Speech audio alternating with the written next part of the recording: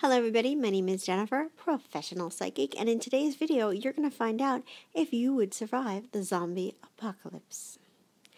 Alright you guys, obviously this video is just for funsies and don't take it super seriously, but I like to do these once in a while just to shake things up. If you like my videos and you enjoy my content, don't forget to like this video. Stop and like it right now. It would do me a great favor and it would help you feel good about helping me out. Also, uh, subscribe, ring the bell, all that fun stuff. Let's get into the video. So you guys, we're going to find out today if you are going to survive the zombie apocalypse. Do you guys believe that we will one day have a zombie apocalypse. Do you guys like zombie movies? What is your favorite zombie movie?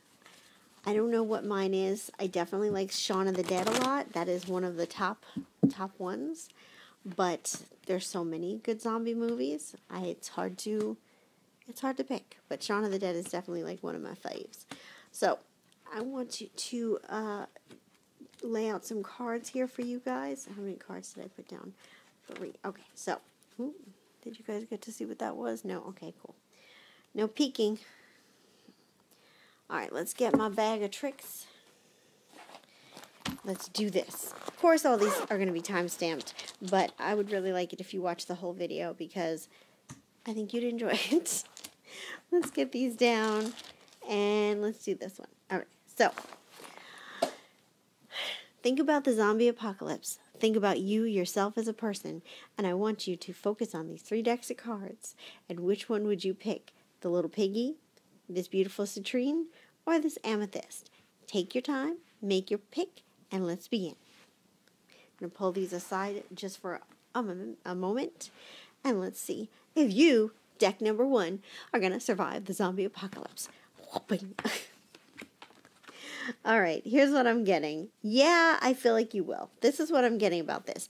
You are very resourceful, but I also feel you have very good instincts. You yourself are probably psychic, and I feel like you would know to get out of dodge before anything happened. You would be the ter- the person to pick up on things before everybody else did, and you'd probably get you and your family out of the way, the harm's way, before things got too dicey and too crazy. Uh, so, because of your your wits and your intuition, I think that you would survive the zombie apocalypse. Congratulations. Let us see deck number two. Will you survive the zombie apocalypse with this pretty? You could probably kill a zombie with this thing. It's so big. All right, let's see if you'll survive the zombie apocalypse. Whoa, whoa. Okay. Uh, unfortunately, I do not see you surviving the zombie apocalypse. Whilst I do think that you are very intelligent and most likely very strong and probably a good little fighter, I feel like you are very affected by what's going on around you and you would be susceptible to whatever the group mob mentality is.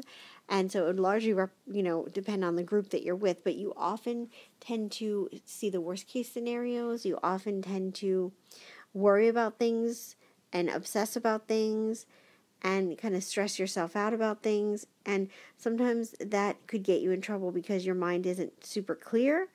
And so, because of that, I do not see you surviving the zombie apocalypse. I'm so sorry. I apologize. All right, guys, deck number three. Are you going to survive the zombie apocalypse?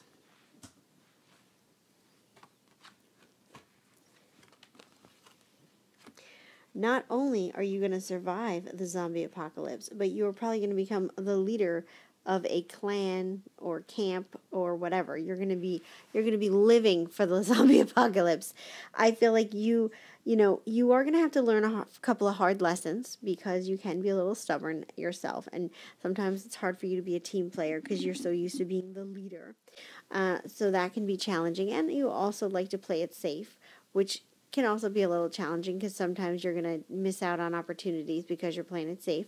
But I feel very strongly that you will, you know, despite maybe making some mistakes here or there in the beginning, you will survive the zombie apocalypse and help this world rebuild into a zootopia. A zootopia? A utopia. we don't want a zootopia.